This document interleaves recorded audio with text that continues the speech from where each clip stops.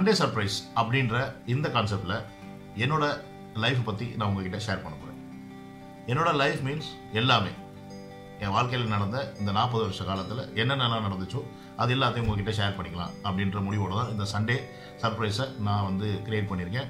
So உங்களுக்கு எல்லா வாரமும் ஒரு சர்ப்ரைஸ் இருக்கும். என்னுடைய வாழ்க்கையில் நடந்த அந்த சுவாரஸ்யமான விஷயங்களாக இருக்கலாம் துக்கமான விஷயமா இருக்கலாம் சந்தோஷமான விஷயமா இருக்கலாம் எது வேணா இருக்கலாம். ஆனால் ஒன்று ஒன்றா உங்ககிட்ட நான் ஷேர் பண்ணிக்க போகிறேன் ஏன்னா அவ்வளோ இருக்குது ஷேர் பண்ண ஸோ என்னடா அவன் லைஃப்பை பற்றி ஷேர் பண்ண போகிறான் அப்படின்னு சொன்னோன்னே சொந்த கதை சோக கதை சொல்லி வியூ சாங் வந்துட்டான் அப்படின்னு நீங்களாம் நினைக்கலாம். பட் அது கிடையாது. கண்டிப்பாக வந்து ஃபுல் அண்ட் ஃபுல் என்டர்டைன்மெண்ட்டுக்கு நான் கேரண்டி அதில் மாட்டுக்கிறதே கிடையாது.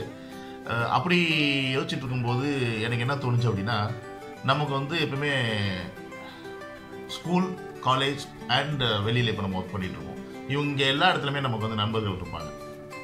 ஆனால் இதில் வந்து நமக்கு நிறையா மெமரிஸ் வந்து பார்த்தீங்கன்னா காலேஜில் கிடச்சிருக்கோம் ஸ்கூல்ஸில் கிடச்சிருக்கோம் வெளியிலையும் கிடச்சிருக்கோம். பட் நான் எதை பிலீவ் பண்ணுறேன் அப்படின்னா ஸ்கூல் டேஸில் கிடச்சிருக்க மெமரிஸ் வந்து லைஃப் லாங் எப்பவுமே நிற்கும் அப்படின்றத நான் வந்து ரொம்பவே ஆணித்தரமாக நம்புகிறேன் ஏன்னு கேட்டிங்கன்னா அந்த ஸ்கூல் டேஸில் இருக்க நட்பு வந்து பார்த்தீங்கன்னா ரியலாக இருக்கும் அப்படின்றத நான் பிலீவ் பண்ணுறேன் காலேஜுக்கு போகும்போது நமக்கு கொஞ்சம் விவரம் தெரிஞ்சிடும் நம்மளால் சூஸ் பண்ண முடியும். யார் நல்லவன் யார் கெட்டவன் அவன்கிட்ட சேரலாமா வேண்டாமா அப்படின்னு. அதே தான் கொஞ்சம் அதுக்கு மேலே போகும்போதும் அதே தான் வந்து கண்டினியூ ஆகும். பட் ஸ்கூல்ஸில் வந்து அப்படி கிடையாது. யார் நல்லா யார் கெட்டவன் திங்கிற திங்க் பண்ணுற அளவுக்கு நமக்கு ஏஜ் இருக்காது. ஸோ நம்ம வளர்ந்து வர அந்த காலத்தில் எல்லாருமே நம்மக்கிட்ட பசங்க ஃப்ரெண்ட்ஸாக தான் இருப்போம். அதில் பணக்கார பையன் இருப்பான் ஏழை இருப்பான் மிடில் கிளாஸ் எல்லாருமே இருப்பாங்க. பிஞ்ச ஷோ போட்டிருப்பான் பட்டர் ஷோ போட்டிருப்பான். அந்த மாதிரி எல்லா பசங்களுமே இருப்பாங்க. ஸோ அதனால் வந்து இந்த ஸ்கூல் காலங்கள் அப்படின்றது வந்து என்றைக்குமே அழியாத ஒரு நினைவாக இருக்கும் அப்படின்றத நான் நம்புகிறேன் அதனால நான் என்ன பிளான் பண்ணியிருக்கேன்னா ஒரு ஃபேஸ்புக்கில் வந்து மீம்ஸ்னு வச்சுக்கோங்களேன். ஒரு பத்து மீம்ஸ் இருக்குது ஸோ அந்த மீம்ஸை எடுத்து போட்டு அதோட அந்த மீம்ஸுக்கும் என்னோடய வாழ்க்கையில் நடந்த சில சுவாரஸ்யமான விஷயங்களையும் இந்த வீடியோவில் நான் பதிவு பண்ண போகிறேன் இது எவ்வளோ பெரிய லென்த் வீடியோ வருதுன்னு தெரில பட் இது going to be part one part two part three அப்படி தான் போகுது. ஸோ இதுதான் ஃபர்ஸ்ட் பார்ட் ஓகேங்களா இந்த ஸ்கூல் வீடியோ ஃபர்ஸ்ட் பார்ட்டில் முடியுதா? இல்லை செகண்ட் பார்ட்டோட முடியுதா அப்படின்றத நம்ம பேச போகிற விஷயங்களை வச்சு நீங்கள் பார்க்கலாம்.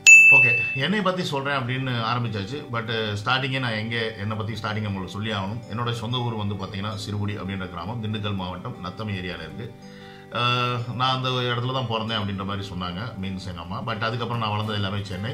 பதினெட்டு வயசுக்கு அப்புறம் வாழ்கிற இடங்கள் எங்கெங்கேயோ பல இடங்கள். அதெல்லாம் நீங்கள் அடுத்தடுத்து என்னுடைய வீடியோஸில் நீங்கள் பார்த்து தெரிஞ்சுப்பீங்க. அதனால் வந்து இது இந்த இன்ட்ரடக்ஷன் போதும் அதோட. இப்போ நம்ம ஸ்கூல் கான்செப்ட் அப்படின்னு சொல்லி சொல்லிட்டேன். என்னுடைய பள்ளி வாழ்க்கை எல்லாமே எங்கேன்னு பார்த்தீங்கன்னா சென்னையில் தான் இருந்துச்சு. சென்னையில் பார்த்தீங்கன்னா நாங்கள் எங்கே இருக்கோம் அப்படின்னு பார்த்தீங்கன்னா அம்பத்தூர் பக்கத்தில் திருமல் திருமுல்லை வாயில் அப்படின்ற ஒரு இடத்துல தான் நான் வந்து விவரம் தெரிஞ்ச வயசுலேருந்து வளர்ந்தேன். இப்போவும் அங்கே தான் எங்கள் ஃபேமிலி மீன்ஸ் தான் இருக்குது ஊரில் சொந்த வீடு இருந்தாலும் சென்னை போனால் நாங்கள் தான் ஸ்டே பண்ணுவேன்.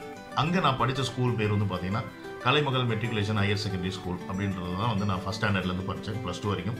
அதே ஸ்கூலில் தான் படித்து முடித்தேன் அதனால் வந்து எனக்கு வந்து பார்த்தீங்கன்னா ஸ்கூல் மெமரிஸ் நிறையாவே இருக்கும். நிறையா பசங்கள் வந்து போனது. இடையில இடையில வந்து சேர்ந்து போவாங்க அந்த மாதிரி. பட் என் கூட படித்த பசங்கன்னு சில பசங்க ட்ராவலில் இருப்பாங்க ப்ளஸ் டூ வரைக்கும். ஸோ அதனால் நம்ம ஸோ மெனி மெமரிஸ் இருக்குது ஸோ அந்த மெமரிஸ் எல்லாத்தையும் நம்ம ஒரு பத்து பாயிண்ட்ஸாக பார்ப்போம்.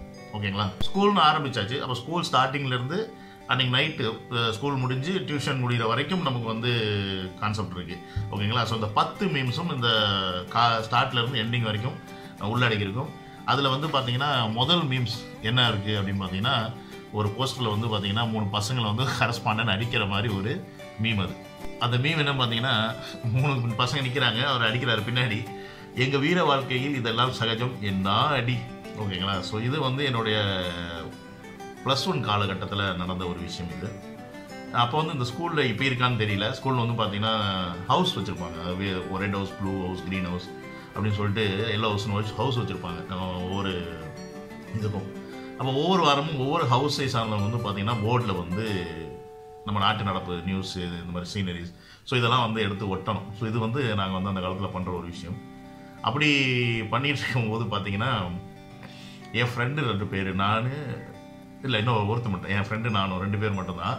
அவனும் இப்போ இங்கே துபாயில் தான் இருக்கிறான். அவன் பேச சொல்ல விரும்பல ஏன்னா அவன் சொன்னால் ஏதாவது நினச்சிப்பானு தெரியல. அவன் என்ன பண்ணிட்டான் ஆக்சுவலாக ப்ளூ ஹவுஸ் நான் வந்து ரெட் ஹவுஸில் இருந்தேன். அது ஒட்டியிருந்தது வந்து எல்லோ க்ரீன் ஹவுஸ்னு நினைக்கிறேன். அதை போஸ்ட் ஒட்டியிருந்த பசங்க டீம் வந்து. இவன் என்ன பண்ணிட்டான் அந்த போஸ்ட் எல்லாத்துலேயும் அவனுடைய சைன் போடுறான். ஓகேங்களா அவன் பேரும் வீல தான் ஸ்டார்ட் ஆகும் என் பேரும் வீல தான் ஸ்டார்ட் ஆகும். இப்போ நாங்கள் என்ன பண்ணோம்? அவன் சைன் போட்டான்னு சொல்லிட்டு நானும் வந்து வி வி வின்னு சைன் போட்டு வச்சிட்டோம். இதை எவனோ பார்த்துட்டு போய் கரஸ்பாண்டண்ட்டை போட்டு கொடுத்துனாங்க அடுத்த நாள் கூப்பிட்டு வச்சு இது யார் செய்யணும் கேட்டால் அவன் என்கிட்ட சொல்ல நான் என்கிட்ட சொல்ல யாருமே சொல்லலை எங்கள் ஆனால் ரெண்டு பேருமே வீடு இருக்கிறதுனால குழம்பி போய் ரெண்டு பேரையுமே கூப்பிட்டு வச்சு வெளு வெளுன்னு வெளுத்தா. அதனால பேண்டெல்லாம் கொஞ்சம் லூஸாக போட்டு போவோம். அப்போ அதில் பாதி பேண்ட்டில் பட்டு பட்டு போயிடும்னு வச்சுக்கோங்க. ஒன்று ரெண்டு மட்டும்தான் விழும். அதோடு அடிச்சுக்கிட்டு ஓடி வந்தது தான் எனக்கு இன்னமும் ஞாபகம் இருக்கு. இப்பயும் பசங்க அதை பார்த்தா நாங்கள் வந்து பேசியிருக்கோம் என் கிளாஸ்மேட்ஸ் எல்லாமே. ஆக்சுவலாக நான் கோயிலில் படித்தனால பொம்பளை பிள்ளைங்க சேர்ந்துருப்பாங்க.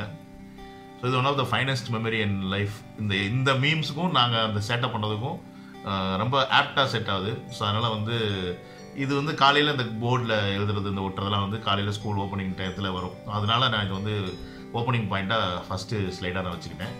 ஓகேங்களா அடுத்தடுத்து பார்ப்போம். அதுக்கடுத்து பார்த்தீங்கன்னா இந்த மீம்ஸ் வந்து பார்த்தீங்கன்னா only nineties kids will remember this அப்படின்னு சொல்லி அந்த மீம்ஸில் இருக்குது உண்மையாலுமே அதை நாங்கள் தான் ரிமெம்பர் பண்ணி வச்சுருக்கோம். பட் நீங்கள் வச்சுருக்கீங்களா அப்படின்னு தெரியல.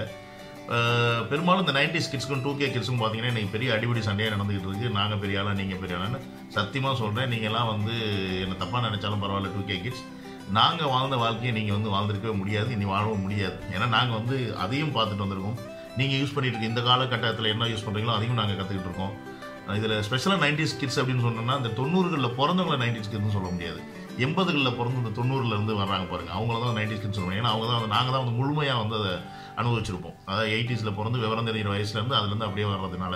நைன்டிஸ் கிட்ஸில் பிறக்கும்போது பார்த்தீங்கன்னா டூ தௌசண்ட் அப்புறமா தான் அவனுக்கு பத்து வயசு வரும். ஸோ அதுக்கப்புறம் தான் விவரம் தெரியும். அவங்களும் உங்கள் கூட சேர்ந்தவங்க தான் ஆல்மோஸ்ட் ஓகேங்களா? ஸோ இந்த நைன்டிஸ் கிட்ஸில் இருக்க பசங்களுக்கு தான் இந்த விவரங்கள்லாம் வந்து நிறையா தெரியும் அப்படின்றனால எங்களை மாதிரி வாழ்க்கையை நீங்கள் வந்து வாழ்ந்திருக்கவே முடியாது அனுபவிச்சிருக்க முடியாது. அதுக்கு நான் guarantee okay coming to that this rubber matter இதில் பார்த்தீங்கன்னா நாங்கள் இப்போ வந்து நட்ராஜ் ரப்பர் அது வந்து ஒயிட் ரப்பர் நட்ராஜ் ரப்பர்னால் வந்து ஃபேமஸ் ரப்பர் இந்த நட்ராஜ் ரப்பர் கூட இன்னொரு ஒரு ரப்பர் ஒன்று இருக்கும். அதாவது ஒரு சைடு ப்ளூ கலர் ஒரு சைடு ஆரஞ்சு கலரில் இருக்கும்.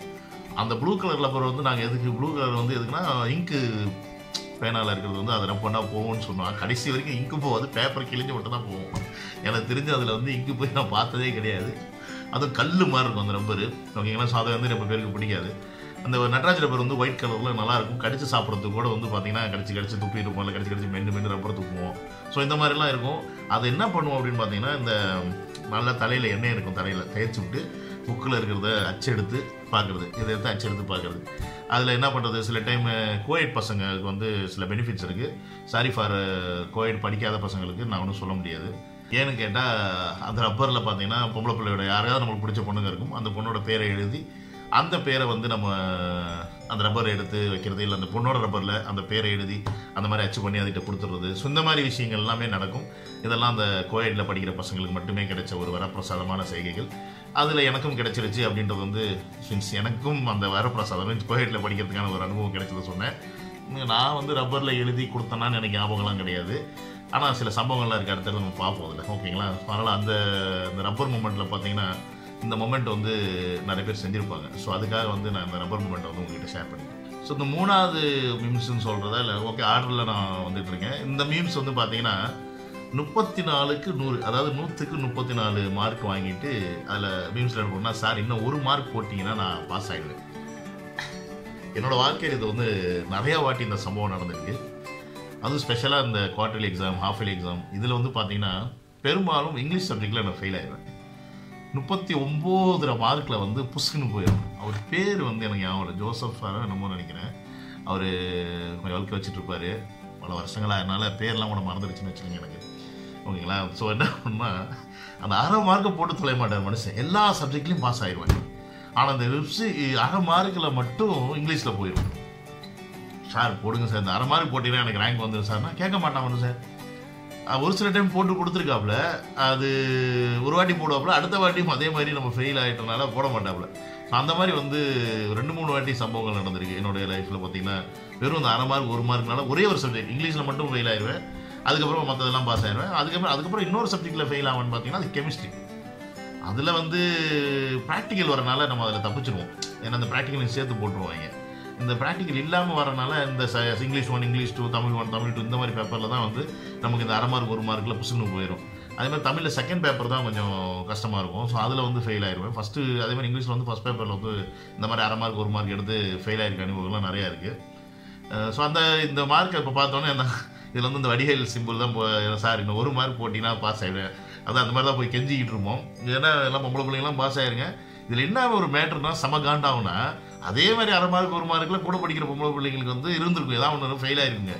அதுக்கு மட்டும் சார் இந்த ஆன்சர் கரெக்ட் தானே சார்? இந்த கொஸ்டின் இந்த ஆன்சர் நான் எழுதியிருக்கேன் சார் டக்குனு பார்த்து வாங்கி ஒரு மார்க்கை போட்டு விட்ருவாப்புல அது ஆல்ரெடி பாஸ் ஆகிருக்கும் நமக்கு மனுஷன் போட மாட்டேன்னு சொல்லி அடம் பிடிப்பாப்புல. என்ன பண்ணுறது சரின்னு சொல்லிட்டு வாழ்க்கையே போச்சு அப்படின்னு சொல்லிட்டு உட்கார வேண்டிதான் ஏன்னா வீட்டுக்கு ரிப்போர்ட் கார்டு எடுத்துகிட்டு போனால் பெண்டு நிமித்துவாங்க. நம்மளை தானே. அதனால் வந்து பயந்துக்கிட்டே போவோம். ஒரு சில டைம் திட்டு வரும் ஒரு சில டைம் திட்ட மாட்டாங்க ஸோ அதனால் வந்து பெருசாக நம்ம கண்டுக்கிறது இல்லை ஸோ இந்த முப்பத்தி நாலு மார்க் பார்த்தோன்னா என்னோடய வாழ்க்கையில் நிறைய அந்த முப்பத்தி நாலு மார்க் நான் வாங்கி இருந்திருக்கேன். அது வந்து one of the finest memory in my life என்னோடய கிளாஸ்மேட்ஸ் எல்லாருக்குமே தெரியும். இது நான் இப்போ இந்த வீடியோ அவங்க பார்த்தா கூட வந்து அவங்களுக்கு தெரியும். நான் இதில் வந்து எதுவுமே பொய் சொல்லலை. எல்லாமே எல்லாமே என்னோடய ரியல் லைஃப்பில் நடந்த விஷயத்தை தான் அவங்கள்ட்ட ஷேர் பண்ணிக்கிறேன். அப்படின்றது வந்து அவங்க பிலீவ் பண்ணுவாங்க. நீங்களும் பண்ணுவீங்க நம்புறேன் okay what's girls what girls carry with them in exam what boys do அப்படின்னு சொல்லிட்டு இந்த மீம் பார்த்தீங்கன்னா தெரியும். பொம்பளை பிள்ளைங்க வந்து பார்த்தீங்கன்னா எக்ஸாம் ஆகும்போது வாட்ச்சு இந்த இது என்னது இப்போ என் மறந்து போச்சு அது பேர் எனக்கு. அந்த அது காம்பஸ் அதுக்கப்புறம் பேனா பாக்ஸு கேல்குலேட்டரு லொட்டு லுஸ்ன்னு எல்லாமே எடுத்துகிட்டு வராங்க பசங்க ஜென்ரலாக ஒரு பா பேனா மட்டும் தூக்கிட்டு வந்து எக்ஸாம் எழுதுறத இந்த மீம்ல வந்து நமக்கு தெரிய வருது. இன்றைக்கி இருக்க காலகட்டத்திலையும் பசங்க அந்த மாதிரி செய்கிறதுக்கான வாய்ப்புகள் நிறையா இருக்குது அதுவும் அந்த காலத்தில் நாங்கள் செஞ்சுருக்கோம். இதில் இன்னொரு உண்மையான விஷயம் என்ன அப்படின்றது பார்த்தீங்கன்னா பெரும்பாலும் இதில் வந்து வேணுக்குன்னே எடுத்துகிட்டு வராமல் வர்றது தான் அதிகம். அதுக்கு காரணம் என்னன்னு கேட்டிங்கன்னா எக்ஸாம் எழுதும்போது பார்த்தீங்கன்னு வச்சுக்கோங்களேன் இப்போ நாங்கள் ஒரு கிளாஸில் இருக்கோம்னு வச்சுக்கோங்க உதாரணத்துக்கு ஒரு பதினொன்றாவது பன்னெண்டாவது படிக்கிறோம்னு வச்சுக்கோங்களேன். அப்போ என்ன ஆகுனா அந்த எக்ஸாம்ஸ் எழுதும்போது அடுத்த கிளாஸ் பிள்ளைங்களை கொண்டாந்து நடுவில் சொல்லி விடுவாங்க. உதாரணத்துக்கு நான் வந்து பதினொன்றாவது பன்னெண்டாவது படிக்கும் போதெல்லாம் இப்போ நாங்கள் ரெண்டு பேர் இங்கே இருக்கோம் அப்படின்னா இந்த சைடு ஒருத்தர் அந்த சைடு ஒருத்தர் இருக்கிறான் அப்படின்னா பத்தாம் கிளாஸ் படிக்கிற பொருளுங்கள பசங்களை கொண்டாந்து வந்து உள்ளே சொருவாங்க. அப்படி இல்லைன்னா அவங்க எக்ஸாம் எழுதும்போது அவங்க கிளாஸ் ரூமில் எங்களில் யாராவது ஒருத்தர் போய் சொல்லி சொல்லி போயிட்டு எக்ஸாம் எழுத சொல்லுவாங்க. ஸோ இதில் என்ன ஆகும்னு பார்த்தீங்கன்னா நமக்கு பிடிச்ச ஏதாவது ஒரு பொண்ணு இருக்கும். ஏதோ ஒரு கிளாஸில் இப்போ ப்ளஸ் டூவில் நான் படிக்கும் போதெல்லாம் எனக்கு பிடிச்ச ஒரு பொண்ணெல்லாம் இருந்துச்சு. அது ஸ்டோரிலாம் உங்களுக்கு அடுத்தடுத்து சொல்கிறேன் நான். ஸோ அந்த மாதிரி சான்ஸ் கிடைக்கும் போதும் சரி ஏன் நம்ம கூட படிக்கிற பொண்ணுங்களுக்கே கூட நம்மளை பிடிச்ச பொண்ணுங்களாக இருக்கும். அஃப்கோர்ஸ் எனக்கும் பிடிச்ச பொண்ணுங்களாக இருந்துச்சு என் கூட படித்த பிள்ளைங்களே ஸோ அந்த மாதிரி பார்த்தீங்கன்னா அந்த பொண்ணுங்கள்ட்ட இருந்து நம்ம பேனா வாங்கணும். அவங்கள்ட்ட ஏதாவது பேச்சு கொடுக்கணும் அவங்கள்ட்ட அதை கேட்கணும் இதை கேட்கணுன்றதுக்காகவே எதுவுமே இந்த மாதிரி எடுத்துகிட்டு போகிறது கிடையாது. அப்போ என்ன பண்ணுவோம்? அவங்கள்ட்ட தான் போயிட்டு ஏ எனக்கு பேனா கொடு.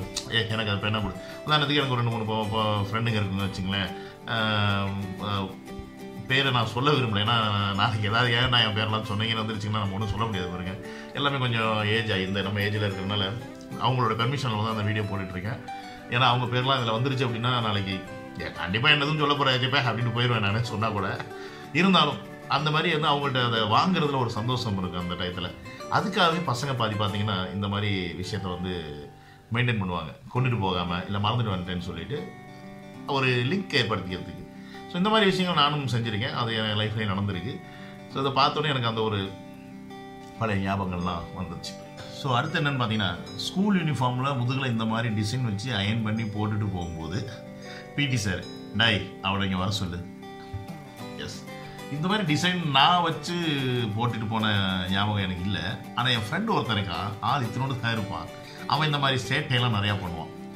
அவன் இந்த மாதிரி டிசைன் வச்சு சட்டை போடுறது வர்றது இதெல்லாம் வந்து நடக்கும்.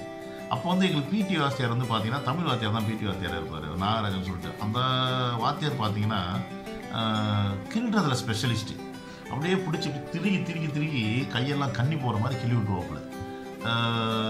வீட்டுக்கெல்லாம் போனோம்னா என்ன சட்டையை கட்டிட்டு பார்த்தாங்கன்னா என்ன அப்படின்னா வாத்தியார் கிட்டாரு தமிழ் வாத்தி கிட்டாருன்னா வீட்டில் திட்டுவாங்க. மனுஷனா என்ன இப்படி கிள்ளி வச்சிருக்கானே அப்படி இப்படின்னு திட்டி திட்டுவாங்க. அதுக்கப்புறம் என்ன பண்ணுவாங்கன்னா அதே பேரண்ட்ஸாக வந்து ஒழுங்காக படிக்கலையா? நீங்கள் அடி வெளுத்துருங்க சார் அப்படின்னு வந்து போட்டு கொடுத்துட்டு வர போயிடுவாங்க ஸோ இந்த மாதிரி ஆப்ஷன் ரெண்டுமே இருக்கிறனால அவங்களுக்கு வந்து வசதியாக போயிடும் அடிக்கிறதுக்கு வைக்கிறதுக்கு. இப்போ தானே அடித்தா உடனே கேஸு அது இதுன்னு போடுறதுனால எல்லாம் பயந்துக்கிட்டு கை வைக்கிறதுக்கு யோசிக்கிறாங்க பிள்ளைங்க மேலே. அப்போல்லாம் அப்படி கிடையாது. வச்சு வெளுத்துருவாங்க. நம்ம எதுவும் சொல்கிற பேச்சு கேட்கல அப்படின்னா இருந்தாலும் நம்ம சேட்டைகள் பண்ணது பண்ணிட்டு தான் இருப்போம். அந்த அளவுக்கு சேட்டையும் இருக்கும். ஸோ அதனால் பார்த்தீங்கன்னா இந்த மாதிரி டிசைன்ஸ் வச்சுக்கிட்டு என்னுடைய ஃப்ரெண்ட்ஸ் நிறைய பேர் அடி வாங்கினதெல்லாம் நான் பார்த்துருக்கேன் இந்த மாதிரி டிசைன்ஸு இந்த இது ஒன்று வைப்பாங்க. அதுக்கப்புறம் பார்த்தீங்கன்னா அந்த ஃபில்ட் வச்சு சட்டை போடுவாங்க. ரெண்டு சைடு ஃபில்ட் வச்சுட்டு அது மாதிரி ஷர்ட்ஸ்லாம் வந்து டிசைன் பண்ணி போட்டு வருவாங்க. இந்த மாதிரி வந்து சம்பவங்கள் வந்து பார்த்திங்கன்னா என்னுடைய வாழ்க்கையில் பெருசாக நடக்கலைனாலும் நண்பர்கள் அடி வாங்கும்போது அவங்க இந்த மாதிரி போட்டுட்டு வந்து சேட்டை பண்ணும்போது நமக்கு வந்து பார்க்குறதுக்கு வந்து கொஞ்சம் சந்தோஷமாக தான் இருக்கும். போய் அடி வாங்கலாம் போனேன் அப்படின்ற மாதிரி தான் இருக்கும். அதனால் இந்த ஒரு விஷயத்தை பார்த்தோன்னே அதுவும் நடந்தது தானே அப்படின்றது எனக்கு மனசில் தோணுனால அதையும் உங்ககிட்ட நான் அப்படியே ஷேர் பண்ணிக்கிறேன். ஓகே ஃப்ரெண்ட்ஸ் இன்றைக்கி ஐ திங்க் இதோட போதும் அப்படின்னு நான் நினைக்கிறேன். ஏன்னா வீடியோஸ் கொஞ்சம் பெருசாகவே போயிருச்சு. நான் ஆல்ரெடி நிறைய அஞ்சு பாயிண்ட் சொல்லியிருக்கேன். ஸோ நீ இதோட கண்டினியூட்டி பார்ட் டூ வந்து நீங்கள் அடுத்த வாரம் சண்டே சர்ப்ரைஸில் இன்னும் இந்த ஸ்கூல் பார்ட் அடுத்த வாரம் இன்னும் ஒரு அஞ்சு பாயிண்ட்ஸ் இருக்குது அதையும் நம்ம சேர்த்து அடுத்த வாரத்தில் முடிப்போம். இன்றைக்கி நான் சொன்ன விஷயங்கள் எல்லாமே உங்களுடைய லைஃப்பில் நடந்திருக்கு. நீங்கள் இதெல்லாம் செஞ்சுருக்கீங்க. இந்த மாதிரி விஷயங்கள்லாம் நடந்திருக்குன்னா அந்த குட் மூமெண்ட்ஸ் எல்லாத்தையும் கமெண்ட் பாக்ஸில் போடுங்க. யா பழைய நினைவுகளை நினச்சி பார்க்கும்போது எப்பயுமே ஒரு சந்தோஷம் மனசில் இருக்கும். எனக்கு இந்த வீடியோ நீங்கள் பார்த்தீங்கன்னாவே எனக்கு தெரியும். ஐ திங்க் உங்களுக்கு தெரியும் என்னுடைய முகத்தில் எவ்வளோ ஒரு சந்தோஷம் இருக்குது அப்படின்றது வந்து நீங்கள் என்னாலையும் ரசிக்க முடியுது. ஏன்னா நானும் பார்த்துக்கிட்டு இருக்கேன்ல அதுக்காக சொல்கிறேன் இட்ஸ் லைஃப் அந்த மாதிரி ஏன்னா என்னுடைய நினைவுகள் இவ்வளோ சந்தோஷமாக இருக்கிறதுக்கு காரணமும் இருக்குது அதெல்லாம் நீங்கள் வரப்போகிற வீடியோஸில் வந்து தெரிஞ்சுப்பீங்க. ஏன் நான் இவ்வளோ சந்தோஷமாக இருக்கேன் அப்படின்றதுக்கும் அந்தளவுக்கு அந்த அளவுக்கு நினைவுகள் இருக்குது பயிர்ந்துவோம் பயிர்வோம் பயிர்ந்துக்கிட்டே இருக்கேன் உங்ககிட்ட. மேலும் மேலும் பயிர்றேன் வேறு என்ன சொல்கிறது சப்ஸ்கிரைப் பண்ணுங்கள் உங்களுடைய ஸ்கூல் டேஸ் மனசில் வச்சுக்கிட்டே சப்ஸ்கிரைப் பண்ணுங்கள் அடுத்த வார பார்ட் டூவில் மீட் பண்ணுவோம்.